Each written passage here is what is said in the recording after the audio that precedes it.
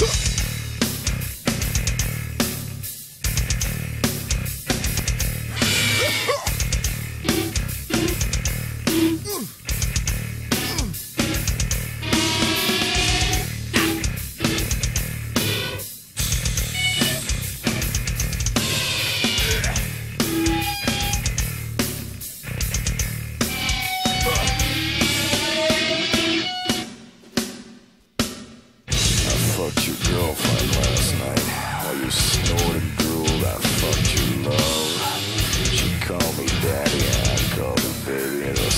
ass.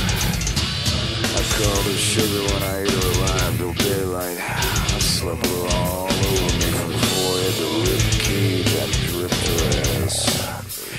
Sometimes I thought you might be spying, living out some brash fantasy, but no, you would not out.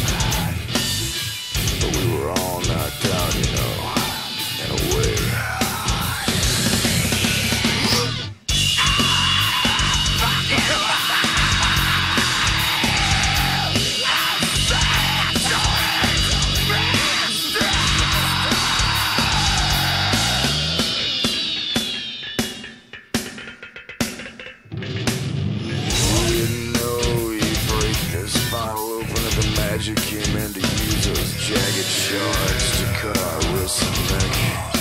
And you do it too, you're that kind of dude. But you wouldn't know what you doing because I didn't. Your girlfriend could have been a burn victim, an amputee, a dead body.